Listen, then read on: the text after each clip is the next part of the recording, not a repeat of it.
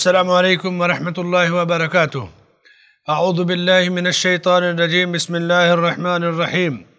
وَلِكُلٍ وِجْهَةٌ هُوَ مُوَلِّيهَا فَاسْتَبِقُوا الْخَيْرَاتِ أَيْنَمَا تَكُونُوا يَأْتِ بِكُمُ اللَّهُ جَمِيعًا إِنَّ اللَّهَ عَلَى كُلِّ شَيْءٍ قَدِيرٌ ہر شخص ایک نہ ایک طرف متوجہ ہو رہا ہے۔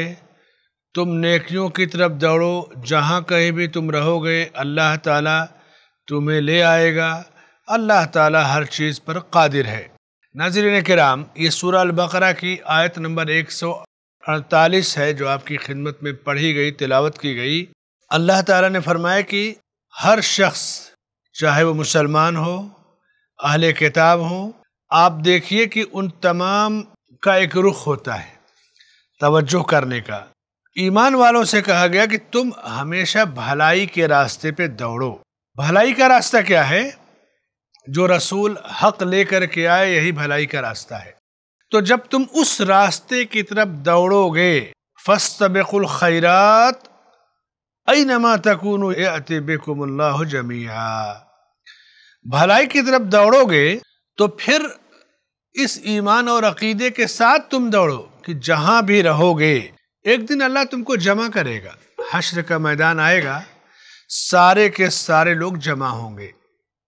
دنیا میں الگ الگ انداز میں جیتے ہیں، زندگی گزارتے ہیں، لیکن تم رب کی عبادت، نبی کے پیغام حق کی روشنی میں کرو۔ دنیا میں بکھر گئے سارے لوگ، لیکن قیامت کے دن اللہ تعالیٰ سب کو جمع کرے گا۔ وَنُفِخَ فِي السُّورِ فَإِذَا هُم مِّنَ الْأَجْزَاسِ إِلَىٰ رَبِّهِمْ يَنْسِلُونَ۔ جب سور پھونکا جائے گا تو لوگ اپنی قبروں سے اٹھ کر کے اپنے رب کی طرف دوڑ پڑیں گے۔ ان كانت الا صيحه واحده فاذا هم جميع لدينا ایک سور کی ایک آواز ہوگی، ایک چیخ ہوگی اور سب رب کی برگاہ میں کھڑے ہو جائیں گے۔ تو اللہ تعالی سارے لوگوں کو جمع کرے گا۔ بھلائی کے ساتھ جو جمع ہوگا اس میں، حق کی نعمت کے ساتھ جو جمع ہوگا اس میں اور باطل اور شر کے ساتھ جو جمع ہوگا، دیکھیے کتنا فرق ہوگا۔ تو کہا کہ ان اللہ علی کل شیء قدیر، اللہ ہر چیز پر قادر ہے۔ کوئی چیز موجود ہے، اس کو ختم کرنے پر قادر ہے۔ کوئی چیز موجود نہیں ہے، اس کو وجود بخشنے پر قادر ہے۔ عدم سے وجود اور وجود سے عدم۔ انسان کچھ نہیں ہے، ایک نطفے سے اس کو پیدا کر دیتا ہے۔ آدمی ہٹے کٹا ہے، اس کو موت دے دیتا ہے۔ تو عدم سے وجود وجود سے عدم، اس سے بڑی قدرت کی دلیل کیا ہوگی؟ ان اللہ علی کل شیء قدیر۔ اور ان کاموں کو انجام دینے میں کوئی عاجزی، کوئی کمزوری، کوئی تکلیف نہیں، وہ تو بہت آسان ہے اس کے لیے۔ تو اس سورہ البقرہ کی آیت نمبر ایک سو اڑتالیس سے جو چند فوائد اور مسائل ثابت ہوتے ہیں۔ پہلا مسئلہ، انسانوں میں لوگوں کا دین، لوگوں کا دھرم، نظریہ، عقیدہ الگ الگ ہوتا ہے۔ ان میں ایمان والوں کو خیر کی رہنمائی کی گئی کہ دیکھو تم خیر کو تلاش کرو۔ دنیا میں کوئی کسی بھی نظریے کا، عقیدے کا، دھرم کا ہو، وہ سوچ لے کہ مجھے خیر اور بھلائی کو تلاش کرنا ہے، بس۔ خیر اور بھلائی کیا ہے؟ خیر اور بھلائی وہ اللہ کے رسول صلی اللہ علیہ وسلم جو پیغام حق لائے وہی خیر اور بھلائی ہے۔ تو پھر اسے ہدایت مل گئی۔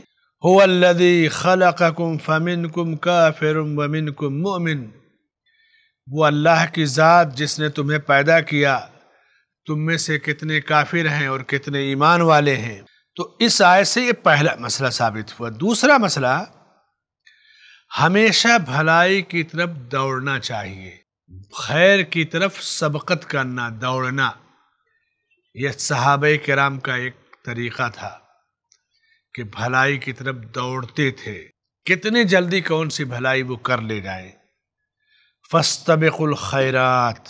بھلائی ایمان کو اس کی تمام شرطوں کے ساتھ حاصل کرنے کی بھلائی، عمل کی بھلائی، انفاق فی سبیل اللہ کی بھلائی، خیر اور دین کے کاموں کو لوگوں تک پہنچانے کی بھلائی۔ پورا کا پورا دین خیر اور بھلائی پر مبنی ہے۔ بھلائی اپنے لیے، اپنی آلو اولاد کے لیے، رشتہ داروں کے لیے، دوست احباب کے لیے سب کے ساتھ ہونی چاہیے۔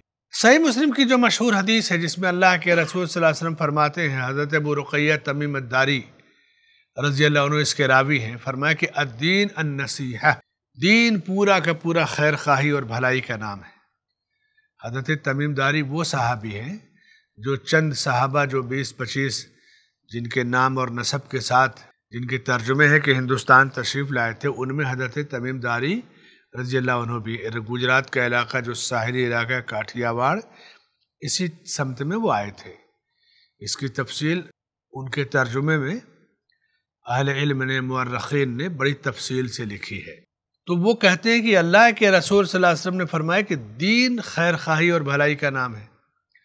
ہم نے پوچھا، قلنا لمن یا رسول اللہ؟ ہم نے کہا کہ اللہ کے رسول یہ خیر خواہی بھلائی کس کے ساتھ ہوگی؟ کہا، اللہ کے لیے، اس کی کتاب کے لیے، اس کے رسولوں کے لیے، اس کے اماموں کے لیے، عام مسلمانوں کے لیے۔ پورا کا پورا دن خیر اور بھلائی پر مبنی ہے۔ اور بھلائی کے لیے دوڑنا چاہیے سب کو۔ تیسرا مسئلہ، قیامت کا دن برحق ہے۔ اور جب آدمی اس عقیدے کے ساتھ زندگی گزارے گا، اینما تکونو یأتبکم اللہ، تم جہاں کہیں بھی رہو گے، اللہ تمہیں حاضر کرے گا، میدان محشر میں تمہارا وجود رہے گا سامنے۔ اس سے حشر، میدان محشر اور اللہ کے سامنے پیشی کا ایمان، عقیدہ صاف طور سے بیان کیا گیا۔ اور بھلائی کی طرف سبقت اور دوڑنے کا لطف اسی ایمان کے ساتھ اچھی طرح آئے گا کہ یہ بھلائی دنیا بھلے بھلے میری ناقدری کر دیں، لیکن میرا رب میری نیکیوں کے ساتھ مجھے جمع کرے گا۔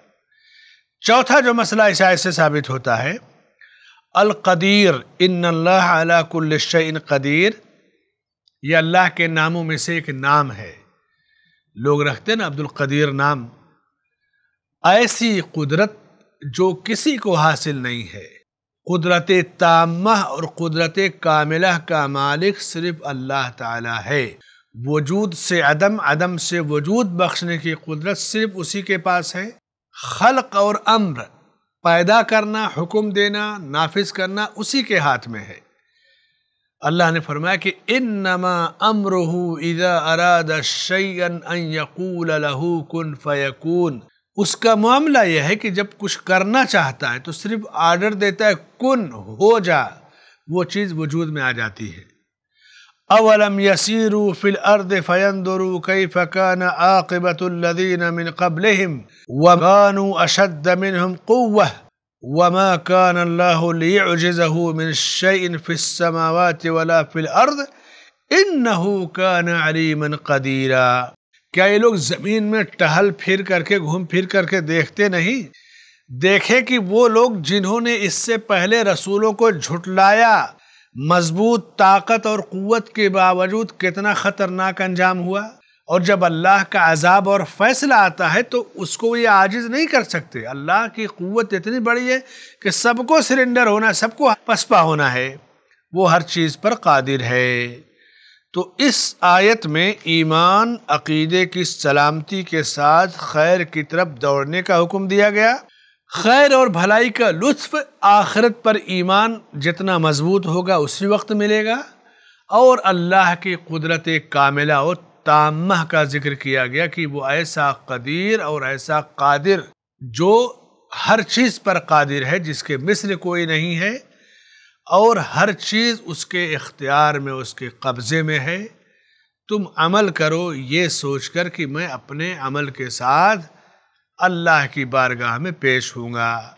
چاہے قبلے کی طرف رخ کر کے نماز پڑھنا ہو، بھلائی کا کام کرنا ہو، خیر کا کام کرنا ہو، اور سب سے بڑا خیر اللہ کے حبیب صلی اللہ علیہ وسلم کی سنت، دین حق اسلامی شریعت ہے۔ اللہ سے دعا ہے کہ اللہ تعالی ہمیں خیر کی طرف سبقت کرنے والا، دوڑنے والا اور دوڑ کر کے ہر قسم کے خیر کو حاصل کرنے والا بنائے اور ہمیں ہماری آل و اولاد کو بھی ہر قسم کے خیر اور بھلائی سے نوازے، آمین۔ وصلی اللہ علیہ نبینا محمد وعلی آلہ وصحبہ اجمعین۔ ناظرین کرام، سورہ البقرہ کی آیت نمبر ایک سو اڑتالیس کے بعد ان قریب ہم آپ کی خدمت میں آیت نمبر ایک سو انچاس کے ساتھ حاضر ہوں گے۔ جب تک کے لیے اجازت دیجیے، والسلام علیکم ورحمۃ اللہ وبرکاتہ۔